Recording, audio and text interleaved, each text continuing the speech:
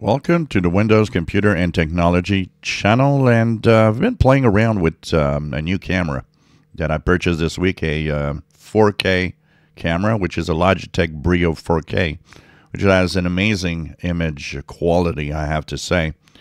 Um, but it also added something that I didn't have before. I used to log into Windows. Uh, of course, I use Windows Hello. Windows Hello has different options to log in. One of them is to use a pin, and that's what I was actually using. But uh, with this new 4K camera, and since it's positioned mostly that it can see my face all the time, I've actually turned on uh, the facial recognition in Windows Hello. And I have to say, it works absolutely fantastic. The uh, PC uh, just logs in as soon as the camera is turned on by Windows to detect my face. Um, it's extremely rapid and ex- extremely cool too because you know no more having to enter pins or anything. And uh, I got to say it's fun.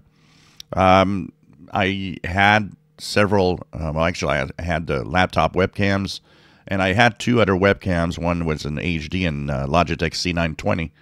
Uh, they didn't have the option of Windows Hello because Windows Hello requires a set of uh, technical details from a webcam to kind of map your face a little bit in a three dimension uh, so that it can really detect uh, who you are. So uh, this is very nice. I've got to say, if you have a compatible camera, I uh, think you should actually um, work with Windows Hello.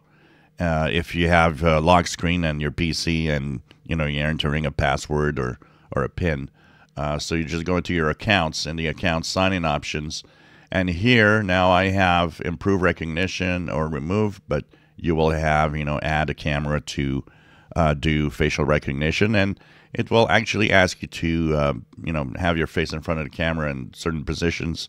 And after it does that, it will say, yep, we're ready.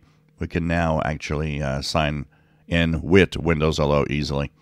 And like I said, it works really well. Honestly, I'm very, very surprised at the speed of recognition and how well it works at least one of the options that works well in Windows 11.